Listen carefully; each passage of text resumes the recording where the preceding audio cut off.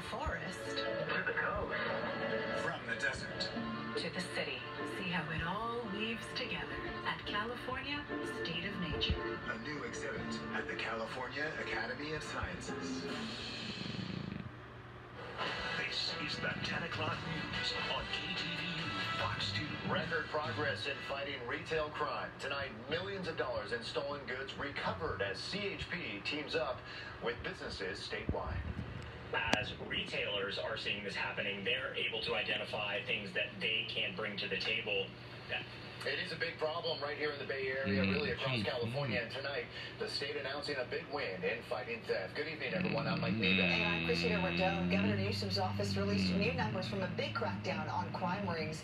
Last month, California's Organized Retail Crime Task Force conducted more than 120 investigations statewide and arrested more than 160 people. That number more than doubled from June. So far this year, officials have recovered more than $7 million worth of stolen goods. CHP Sergeant Andrew Barclay with the Golden Gate Division says a big reason for this is a rise in partnerships between law enforcement and retailers. these are partnerships.